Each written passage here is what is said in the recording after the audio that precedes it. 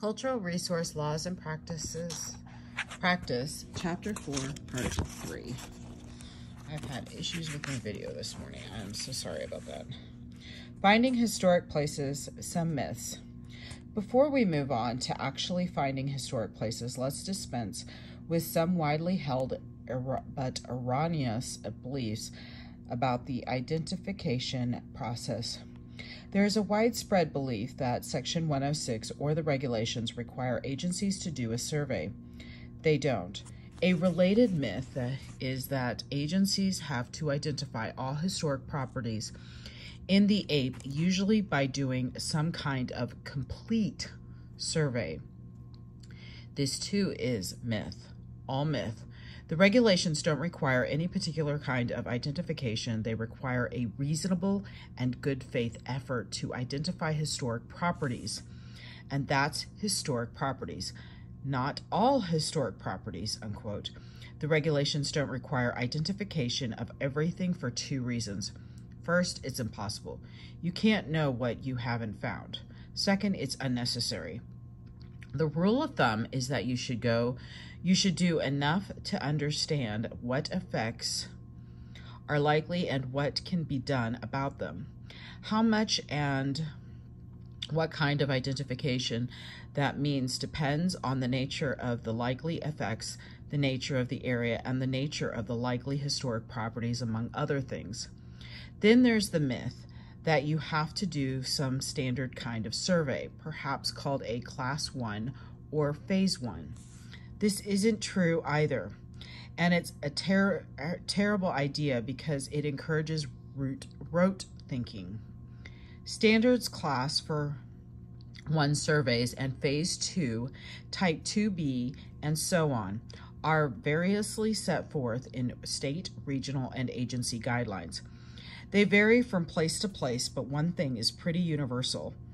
They emphasize archaeological survey, field survey they go on to loving detail about how closely spaced archaeologists should be over the landscape and at what intervals they should dig holes in order to find quote all site all the sites.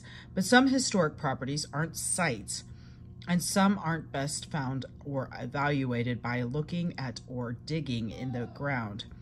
Historic buildings districts landscapes and traditional cultural properties require different strategies, ranging from aerial remote sensing to talking with local residents to background historical research to gemo geomorphology. Sorry. Whenever we assume that a particular class of survey will automatically be sufficient and that it is automatically required, we fail to think what through what kinds of study are really needed. This can lead us to miss important stuff. However closely we pack our archaeologists and space our holes. Bottom line, there is no specific kind of survey you've got to do to satisfy Section 106. What you have to do depends on the character of the project and its likely effects and on the character of the properties likely to be present, which can be determined only through background research and consultation. You don't need necessarily to have to necessarily have to identify every historic property subject to effect, but you do need to consider all kinds of historic properties, not just those you happen to be trained to identify and appreciate. The rule is to make a reasonable effort in good faith.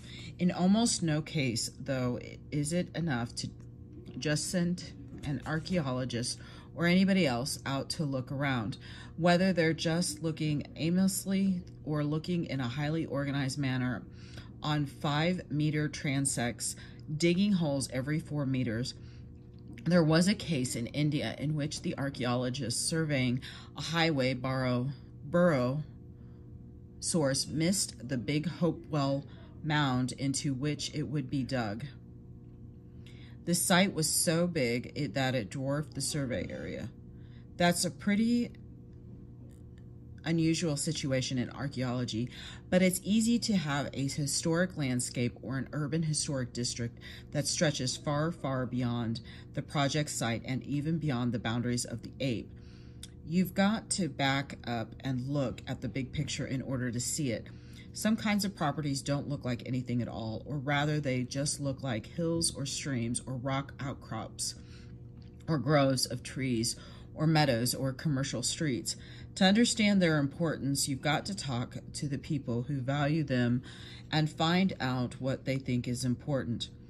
To figure out with whom to talk, you need to think about and read about and talk with people about what's known and believed about the area.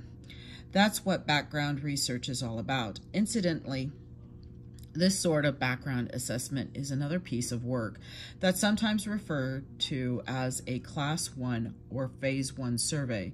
To the endless confusion of those who use the same term to mean a basic field inspection, the reasonable and good faith standard. so you've scoped your identification effort and discovered, let's say, the following. The APE includes a hoity-toity historic district made up of mansions along Hoity-Toit Road, a locally designated historic district that's included in the National Register. The Matomic Indian tribe, now resident on a reservation 50 miles away, used to occupy the area. Part of the ape is a floodplain covered with sediments deposited in the last 5,000 years. Much of the floodplain is farmed by Amish families. The town of Crossroads near the east end of the Ape has been occupied by African American families since the end of the Civil War. The Crooked Bend unpleasantries, unpleasantness in which local militiamen massacred fleeing Matomics occurred somewhere along a bend in Messy Creek, which flows through the Ape. The overworked, understaffed SHPO's office has given you a form letter rec recommending a Class 2A Cultural Resource Survey, unquote. Professor R.T. Tooley of Giant State University's Geographic Research Center advises that the area may produce information important in the study of climatic change over the last 10,000 years. This information may present both in archaeological sites and in natural floodplain deposits. The regulations require that, based on your scoping, you make a reasonable and good faith effort, unquote, to identify historic properties in this case. Given the above data, what th does this mean? One of the most common and least useful responses is, it means to do what the SHPO tells you to do, unquote. This is not meant to insult SHPOs. It's just that in the, this case, as often happens, the SHPO's staff person has been busy with other things and has given you an off-the-cuff recommendation that isn't useful. What does the SHPO mean by a Class 2A Cultural Resource Survey? Unquote.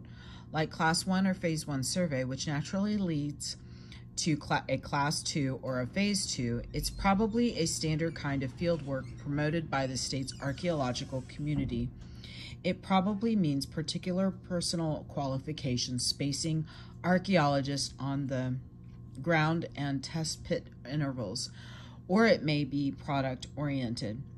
A sufficiently detailed study to permit determining eligibility for the National Register when you ask what this means, you usually you're usually told something about doing test ex excavations.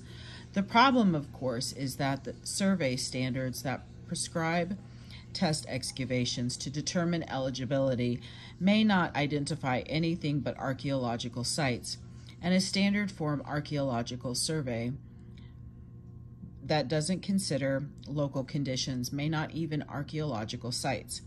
If they're deeply buried in those floodplain sediments, you may spend a lot of time and money traipsing archaeologists over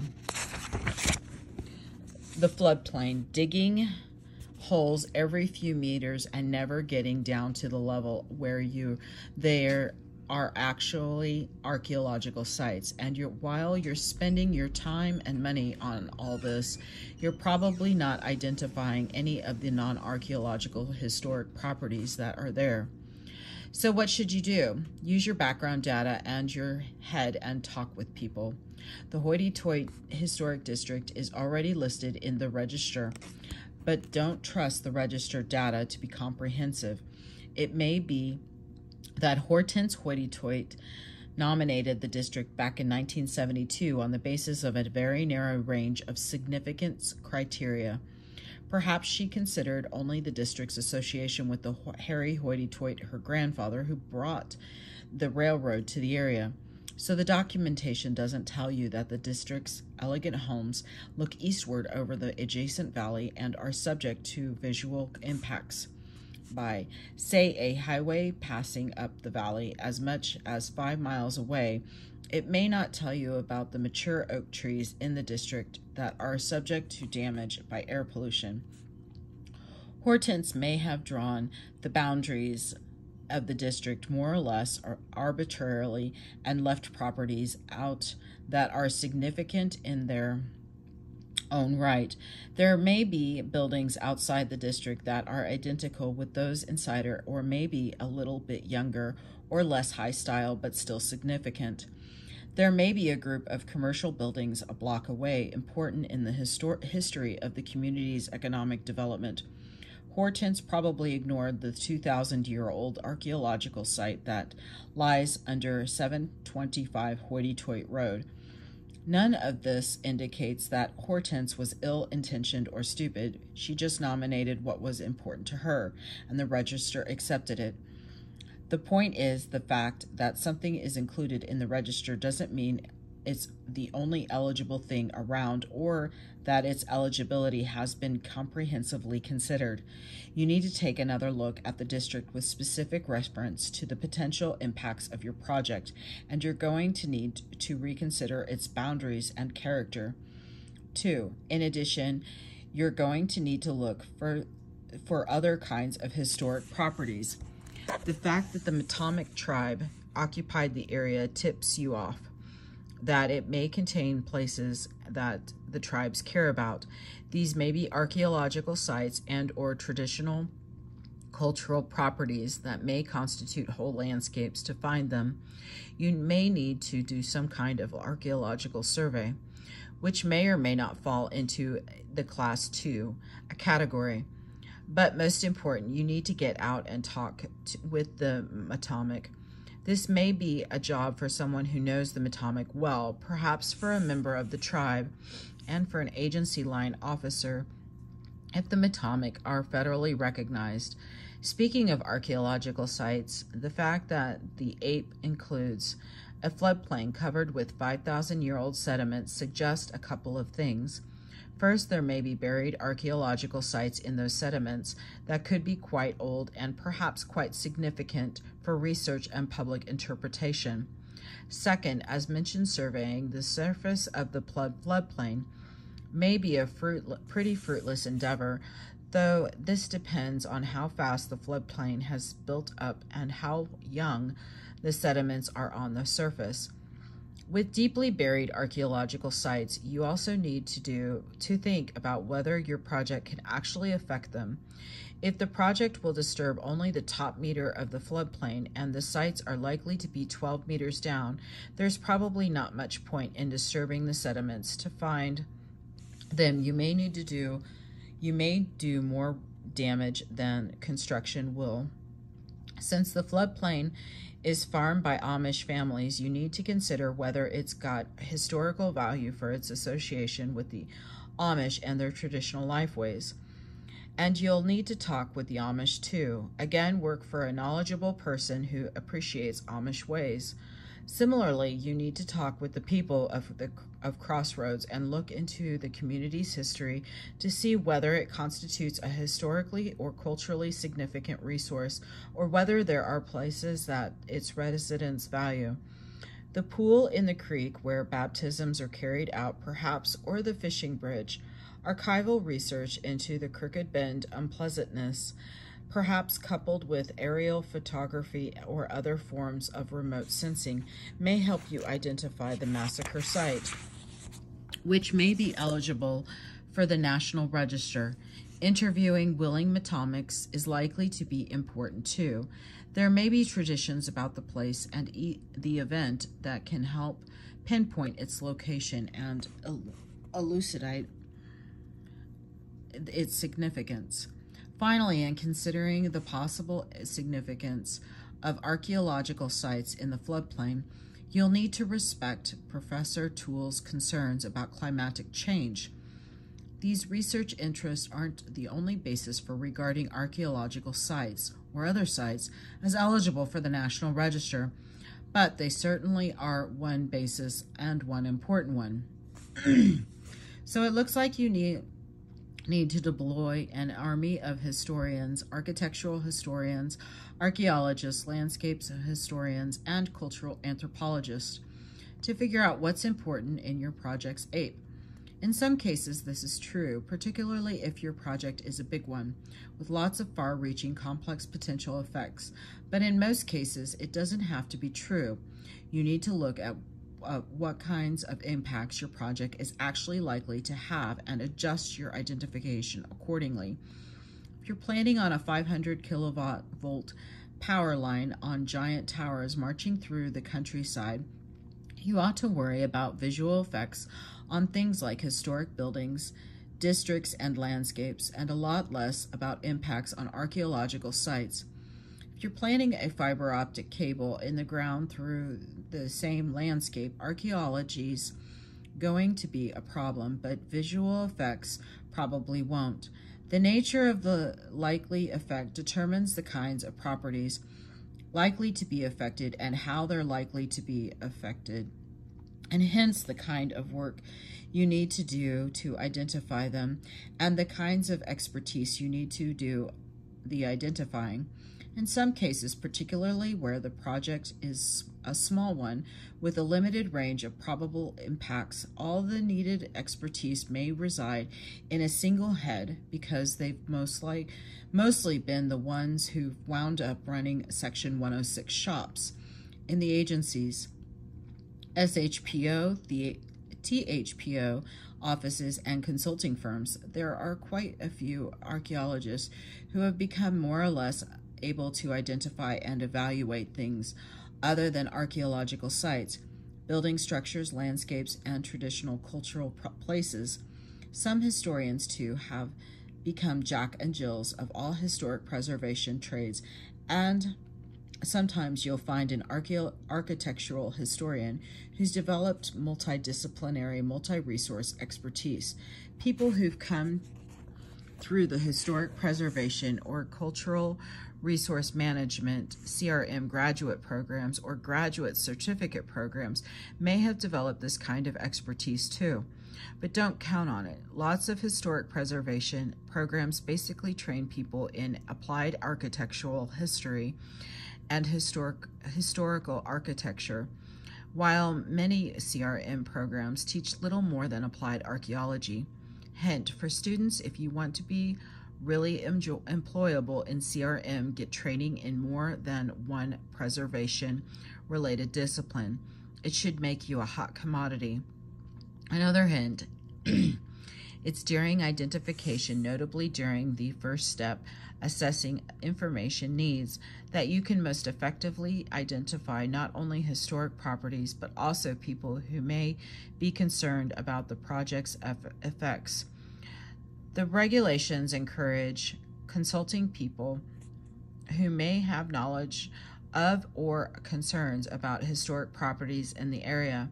Treat this as an opportunity, not an onerous requirement, but to identify concerned people as ascertain their concerns and consult them at this early stage than to have them pop up in court when you're ready to go into construction. It's by talking with these those people that you can best identify the kinds of properties that people really care about, even though the people you talk with may not call them historic properties or even speak your language. It's still likely to be their cultural oxen that will be gored by your project, and you or your client would do well to know what they're concerned about as early as possible. Specific versus generalization identification.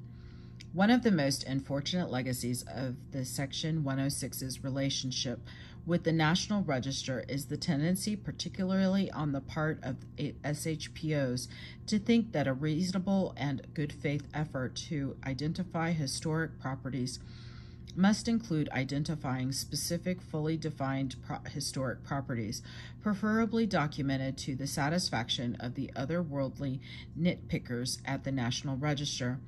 This is utter pernicious nonsense that makes it almost impossible to deal with broad, often ill defined but very significant property types like landscapes and e equally inchoate, indirect, and cumulative effects. The regulations do not require that every single historic property be identified or documented in any particular way. It is perfectly all right to say, on the basis of consultation and background research, it looks like the very pretty valley may be a National Register eligible cultural landscape, and though the proposed spin around bypass will intrude only slightly on its southeastern margin, it will likely accelerate the pave of sprawl development that is already beginning to nibble at the edges of the valley. Therefore, there will be adverse effects that need to be resolved, unquote. That it, it is perfectly all right as far as the regulations are concerned, it may not be all right with your state's state highway agency, which doesn't want to address cumulative effects and for reasons discussed in Chapter 5, doesn't want to acknowledge adverse effects under Section 106 at all or with the SHPO or with the National Register. They all have their arguments and rationales, but for some, from the standpoint of sensible planning and resolution of real conflicts, they're all wrong. The Las Huertas Canyon Standard. We have some guidance from courts of law about what cons constitutes a reasonable and good faith identification effort under Section 106. The most useful such guidance I know of comes from Pueblo of Sandia versus United States, a 1995 10th Circuit Court of Appeals case involving a proposed management plan for Las Huertas Canyon in the Cibola National Forest near Albuquerque, New Mexico. The Forest Service preferred alternative would change the road up the canyon and upgrade visitor use facilities. During review under NEPA and Section 106, the Forest Service determined that there were no TCPs involved in that the undertaking would have no effect on historic properties. The SHPO concurred. The tribal government of Sandia Pueblo filed suit, alleging that there were important spiritual sites in the canyon and that, in effect, the canyon as a whole was a TCP the district court granted summary judgment for the Forest Service largely on the basis of the SHPO's concurrence. The Pueblo appealed. Meanwhile, the SHPO PO received information from the Pueblo backing up its contention about the canyon's cultural importance, an affidavit by the Pueblo's own cultural anthropologist and a resolution by the Pueblo's council, it turned out that the Forest Service had this information at that at the time it was made it's made its no TCPS's determination and had withheld it from SHPO. The SHPO withdrew his concurrence. The Court of Appeals reversed the district's court's decision and remained remanded the case for further proceedings. The ruling largely speaks for itself. The Forest Service mailed letters to local Indian tribes. The letters requested detailed information. Astonishingly, the Forest Service had written tribes in the area and asked them for written descriptions of any TCPSs in the canyon, including an explanation of their significance, and a 7.5 minute U.S. Geological Survey quadrangle showing the sites and their boundaries. None of the tribes or individuals provided the type of information requested. Hardly a surprise, the Forest Service was asking the tribes to do its work for it and to reveal sensitive cultural information.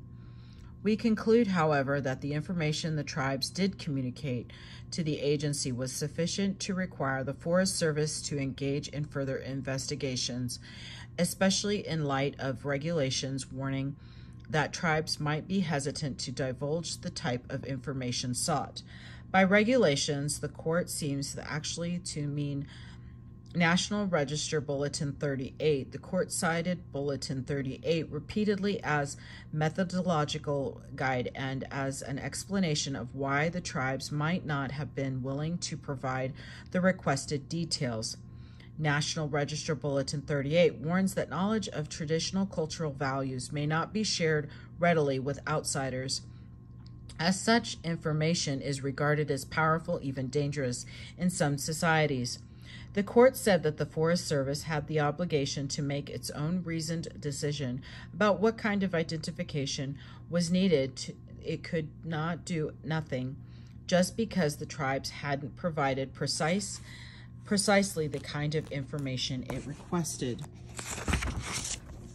Going on to discuss the for what the Forest Service should have done to make a reasonable effort to identify TCPS's the court said determining what constitutes a reasonable effort depends on the likelihood part of the likelihood that such properties may be present.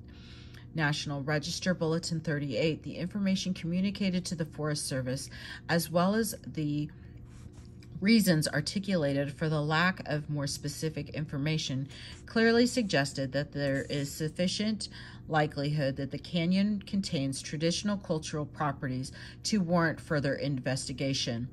So the Forest Service should have used the data from the tribes together with other information as available, one might add, to determine what kinds of identification were needed. The tribe statement that were important cultural qualities to the canyon should have been enough to tip off the Forest Service to the need for detailed study. Turning to what constitutes a good faith effort, the court focused on the Forest Service's misleading interaction with the SHPO.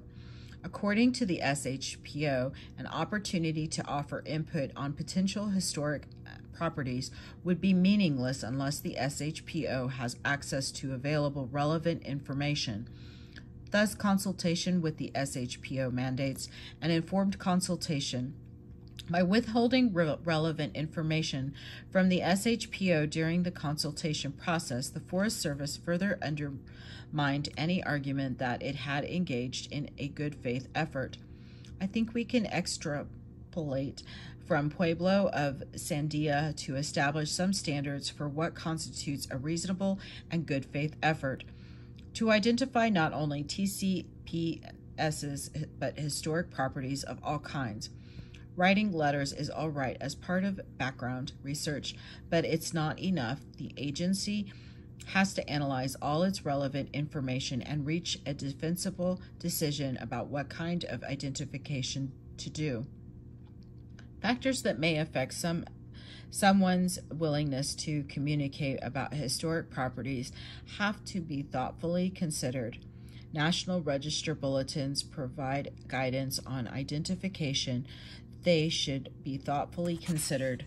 Consultation should be must be informed consultation. An agency isn't acting in good faith if it withholds important data.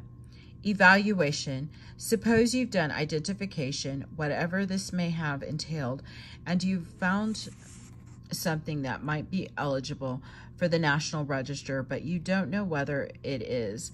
How do you decide? First, let's think about the phrase, something that might be eligible for the National Register, and deciding that this thing might be eligible and this other thing surely is not. We're making value judgments and we ought to be careful. It's generally good to practice to assume something might be eligible unless it's clearly demonstrably isn't. Why? Maybe because you really, really don't want to mess up something important. If you if you're not the altruistic there's this. Finding that something you thought was insight insignificant really is significant. Late in the game can be embarrassing and costly. Suddenly your agency's or client's project is stopped. The bulldozers are idling and eating up money. The contractor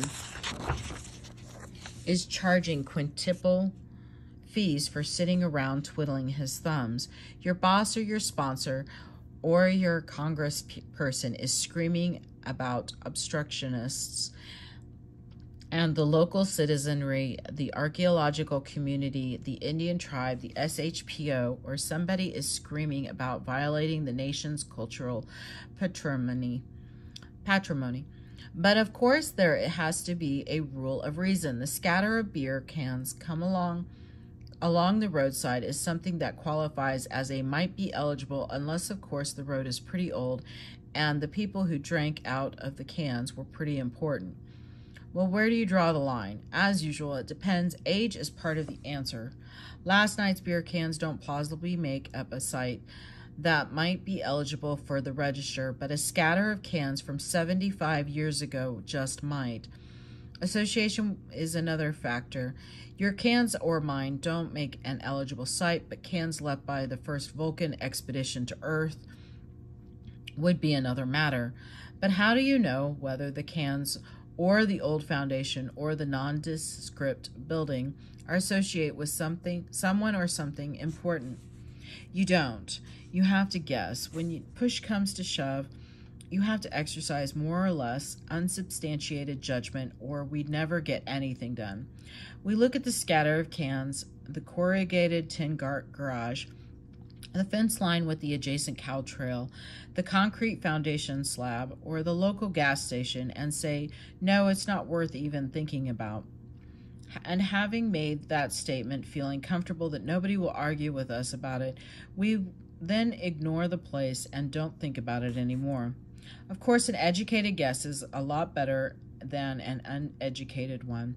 This is one reason that local expertise and background research are important. Knowing the area and its history because you've studied it, you know that this isolated concrete slab may be the, all that remains of the abortive real estate development that's serendipitously led to the discovery of gold in the area so you know you'd better pay some attention to it.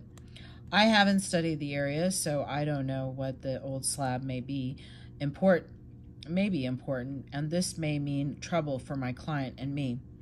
In an attempt to level the playing field and objectify the threshold of might be significant, people sometimes establish more uh, or less arbitrary crit- criteria for historic propertiness Archaeologists are prone to this. If there are 15 flakes of chert per square meter, it may be a significant site.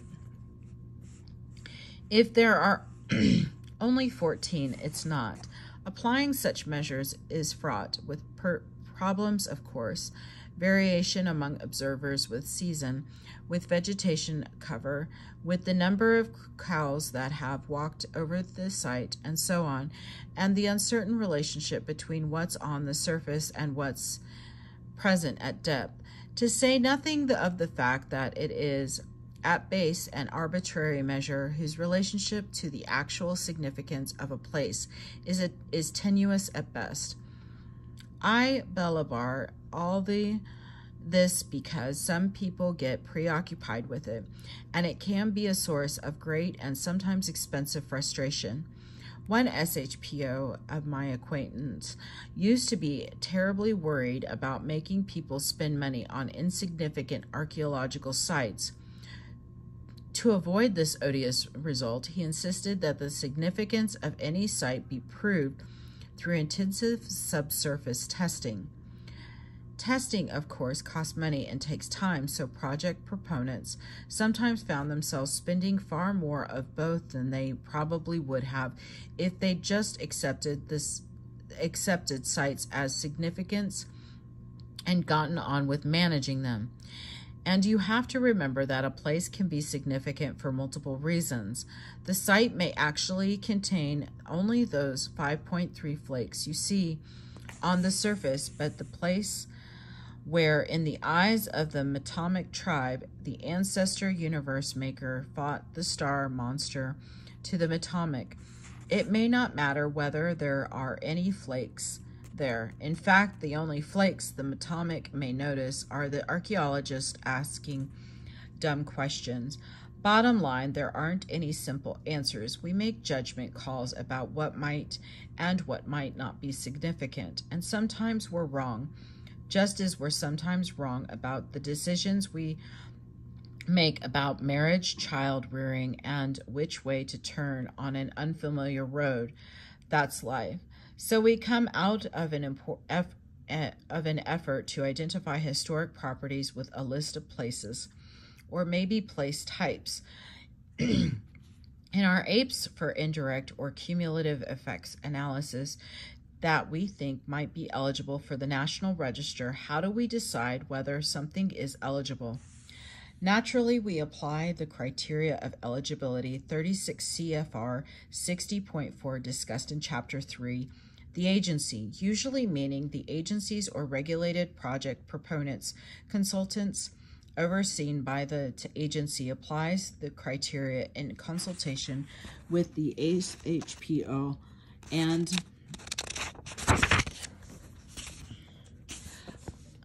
other consulting parties and tries to decide whether the property under consideration meets the criteria and hence is eligible, whether it falls under one of the criteria considerations and therefore is not eligible, and whether it falls under a criteria consideration but also meets one of the exceptions, in which case it's eligible. After all, got that? Evaluation is often the most time consuming part of the selection or of the Section 106 process and one of the most contentious. Specialists can get into incredibly tedious arguments about whether a given criterion criteria consideration or exception is met and what about whether a given place has sufficient integrity to even be considered for eligibility. We'll return to this issue later significance, eligibility, and what you want to do with the place. Remember that when you're evaluating a property to determine its historical significance, that's all you're doing. You are not determining what will or should be done with the property to put in another way. You're not letting management affect your evaluation.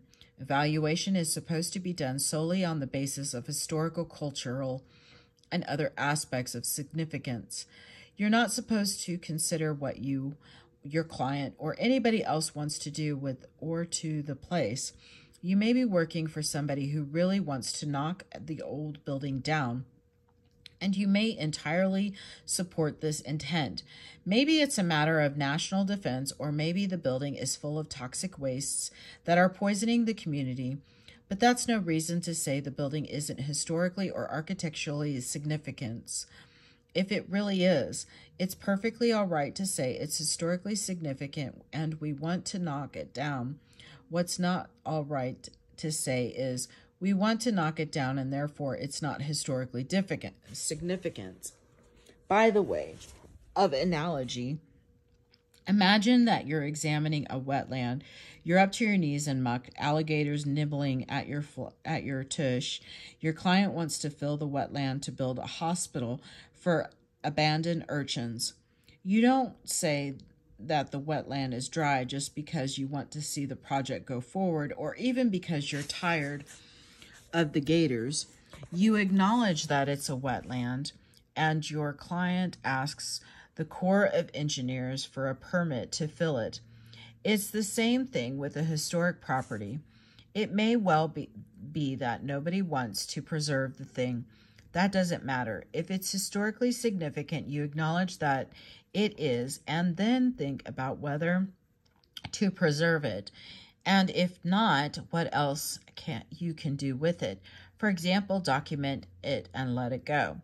There is a big difference between federal law and the historic preservation ordinances of most local governments when something is declared a local historical landmark, that usually means it's got to be preserved a preserved period. So there are lots of practical reasons for people to argue about whether it's significant enough to be designated under section 106 recognizing the significance of a place doesn't mean it's got to be protected it merely means it has to be considered in planning that's an important but poorly understood distinction with important ramifications. If you believe that everything that's historically significant must be preserved, then either you're going to make it impossible to meet the changing needs of society, or you're going to have to be very selective about what you call historic.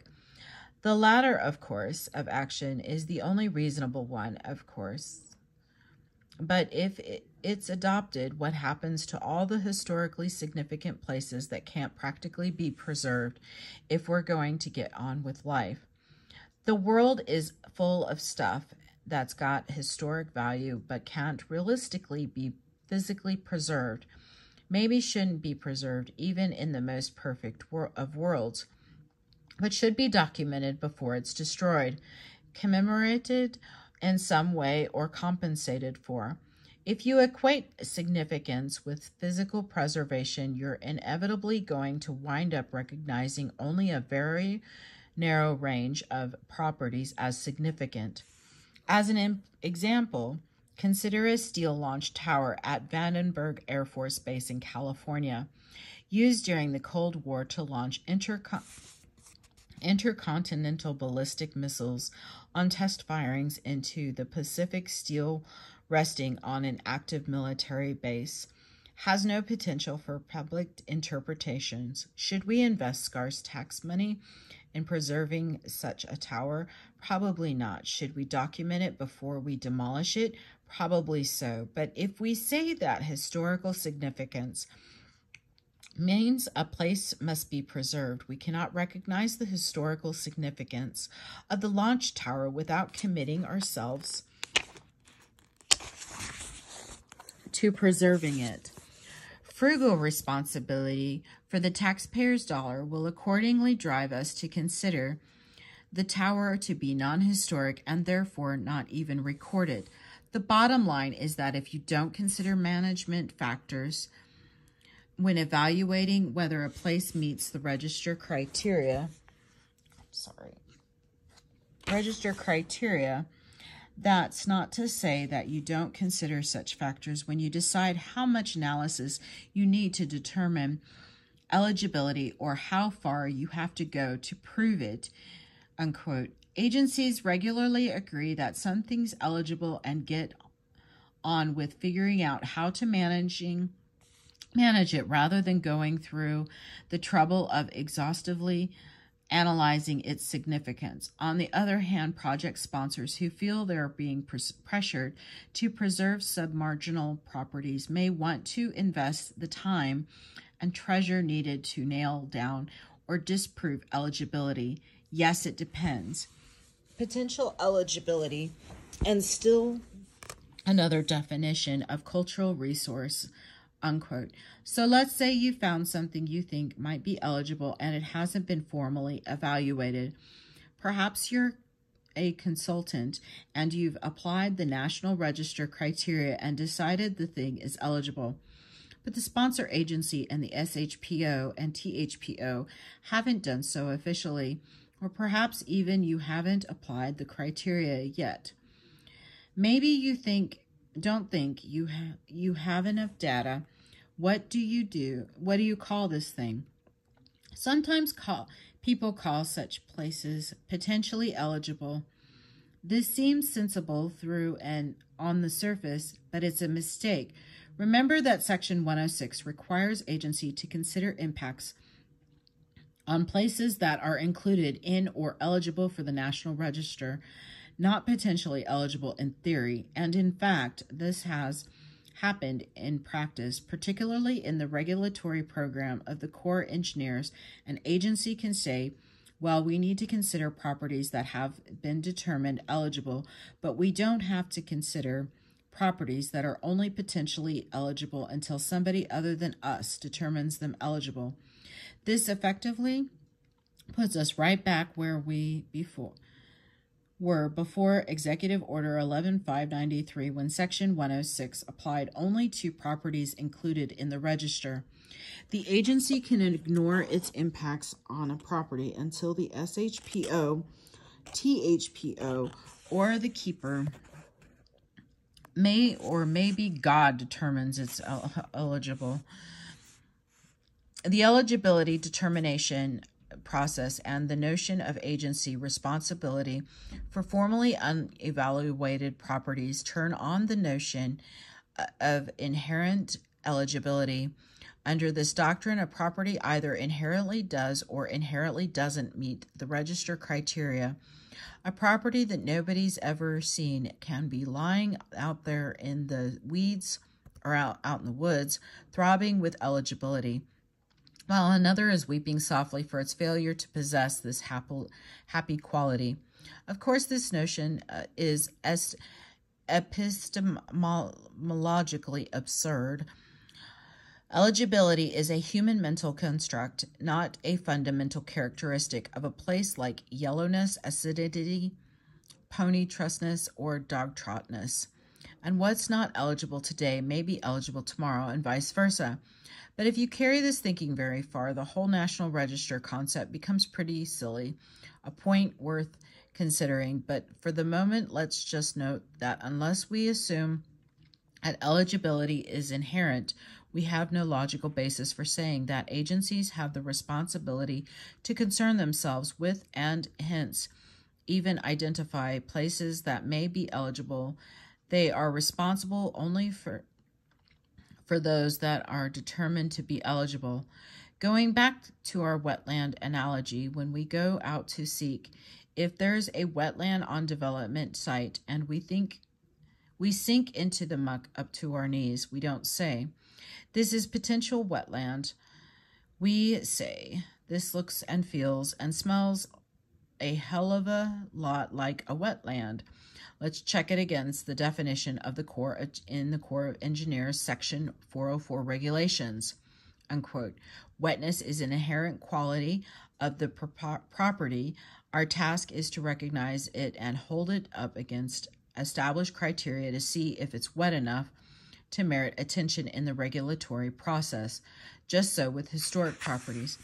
But if we don't call our unevaluated place potentially eligible, what do we call it? Some people unfortunately call it a cultural resource. There's some logic in this sense. Cultural resource embraces a wider range of phenomena than historic property. It's reasonable to say that something is a cultural resource but may or may not be historic property. However, this doesn't re- really resolve really solve the problem of ensuring agency responsibility for considering the place. At best, it complicates it. You're really saying that the agency has to consider the place as a cultural resource under NEPA and other authorities, but it has responsibilities under Section 106.